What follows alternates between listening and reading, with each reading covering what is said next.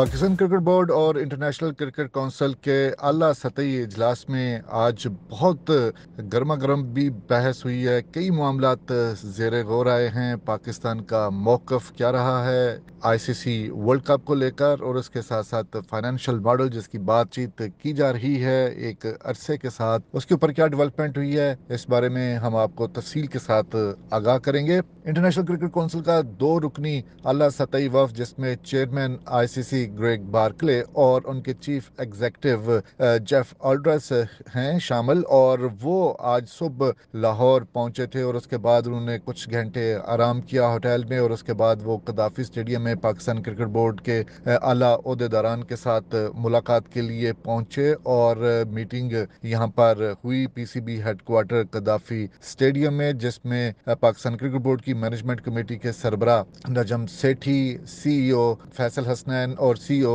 सलमान नसीर ने शिरकत की और कई पहलुओं पर बातचीत हुई। अहम अमूर थे। इससे पहले आईसीसी के आला अहदेदारान ने इंडिया का दौरा किया था। वहाँ बीसीसीआई के आला अहदेदारान से उन्होंने मुलाकात की थी और मुद्दा वही था, आईसीसी वर्ल्ड कप को, जिसके शेड्यूल में अब तक बड़ी ताखीर हुई हुई है और अब तक उसका ऐलान नहीं किया जा सका और उसमें पाकिस्तान की शिरकत की जो चीज़ें हैं, वो जेर बहस आई थी। क्योंकि पाकिस्तान ने कहा हुआ है कि उनकी उस इवेंट में शिरकत इस चीज़ के साथ मशरूत अगर इंडिया नहीं आती तो पाकिस्तान टीम भी जो है इंडिया नहीं जाएगी और अगर हुकूमत इजाज़त देगी तो वो फैसला करेंगे। इसकी वजह से खासा परेशान था। कल भी हमने आपको यहाँ पर बताया था कि आईसीसी इस चीज़ को लेकर खासा परेशान था और इसी वजह से उनके अहदेदारान ने यहाँ पाकिस्तान का दौरा किया और फिर इसके ऊपर बातचीत हुई इंडिया के बाद यहाँ पर और पाकिस्तान ने अपने मौकफ को एक मरतबा फिर दोहराया और कहा कि पाकिस्तान की इवेंट में शिरकत जो है वो हुकूमत की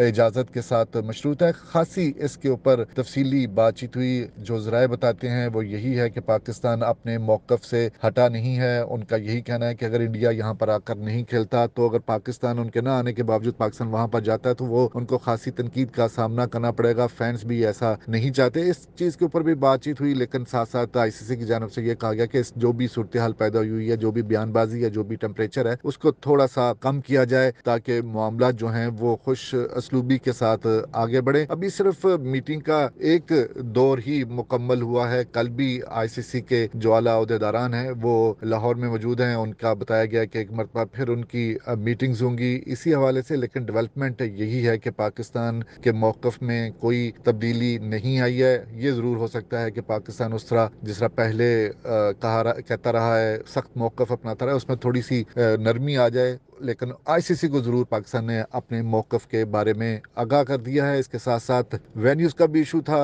अहमदाबाद का वेन्यू जो था, वो इंडिया पाकिस्तान और फिर फाइनल के मौके के ऊपर भी अहमदाबाद का ऐलान किया जा रहा था। उसके ऊपर भी पाकिस्तान ने अपने तहफ़ात का इजहार किया और पाकिस्तान ने अपने लाइकली और अगर सब्सिट्यूट के तौर पर बता दिए ताकि जो मामला हैं वो उसी तरह आगे के आगे बढ़ते रहें और जब हुकूमती इजाज़त की बात आए तो उस वक़्त तक क्या डेवलपमेंट होती है, ये कहा नहीं जा सकता। लेकिन इसके साथ साथ पाकिस्तान की इंश्योरेंस लेने के साथ साथ ये भी आईसीसी की जानब से कहा गया कि वो इंश्योर कराएँगे कि चैंपियंस ट्रॉफी 2025 जिसकी मेज़बानी पाकिस्तान ने करना है, उसमें इंडिया की भी शिरकत होगी, अगर पाकिस्तान ये तस्लीम कर लेता है कि अगर उसने वहाँ पर शिरकत करना है। ये एक बड़ा, एक डेवलपमेंट है इस मामले के कि जी आईसीसी अगर एश्योरेंस देता है, दोनों मुल्कों के दरमियान के वो एक दूसरे ममालिक में आकर आईसीसी के इवेंट में शिरकत करेंगे तो ये एक अच्छी खासी डेवलपमेंट है। इसके साथ साथ जो फाइनेंशियल मॉडल था, जिसके ऊपर ये भी खबरें आई कि जो एसोसिएट ममालिक हैं, उन्होंने तनकीद का निशाना बनाया और उनको कबूल करने से इनकार कर दिया है, जिसकी मंजूरी आइंदा माह दी जानी है फाइनेंशियल इंटरनेशनल मॉडल अगले चार वर्ष के लिए और उसमें पाकिस्तान का हिस्सा बहुत कम है और उसमें एसोसिएट वाले का भी हिस्सा बहुत कम है। पाकिस्तान ने इसके ऊपर बहुत ज़्यादा होमवर्क किया हुआ था। पाकिस्तान ने पूरी तफसीली ब्रीफिंग दी कि ये किस तरह से इस तमाम तर मामले को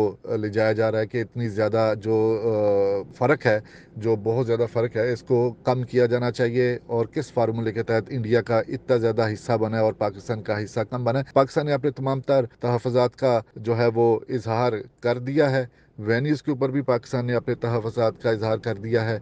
इसके साथ साथ जो मौक़ जिसका हमने बताया कि वो डटा हुआ है पाकिस्तान, अभी भी उसी मौक़ के ऊपर। तो अभी एक और राउंड होगा मुलाकातों का। इस बारे में ऑफिशियली तौर पर, शायद ऑफिशियली तौर पर, अभी फौरी तौर पर कुछ कमेंट ना आए आईसीसी की जानब से और पीसीबी की जानब से, लेकिन जो इतलात यही हैं, जो ज़रा से चीज़ें मालूम हुई हैं, उसके लेकर हमने आपको आगाह किया है। ये थी अब तक की एक डेवलपमेंट इस हवाले से, क्योंकि बड़ा अहम दौरा करार दिया जा रहा है। आई सी सी के अला अहदेदारान हैं, पहली मरतबा आए हैं क्रेग बार्कले, पाकिस्तान के दौरे पर, और कहा यही जा रहा है आईसीसी की तरफ़ से कि जी ये एक कर्टेसी कॉल है और तमाम ममालिक का दौरा करें, लेकिन ये इतना सादा मामला नहीं है कि जी एक कर्टेसी कॉल और सादा मामला और उसमें चाय पिएँ और खाना वाना खाएँ और यहाँ पर सैर करें और वो वापस चले जाएँ, ऐसा नहीं है। नाजुक सूरत हाल है। गंभीर सूरत हाल है। एक तनाज़ा जो पैदा हुआ है आई सी सी की बड़ी कोशिश है कि दोनों ममालिक का ये तनाज़ा वो खुद हल करें ताकि उनके जो इवेंट्स हैं वो ख़राब ना हो। जो भी इस हवाले से ऑफिशली आएगा या हमें मज़ीद ज़रा से मालूम पड़ेगा, इस हवाले से कि मज़ीद क्या डेवलपमेंट हुई है, हम दोबारा आपको इसके बारे में तफसीली तौर पर आगाह करेंगे। लेकिन आज का जो पहला दौर था मुलाकातों का, वो अख्ताम पजीर हो चुका है।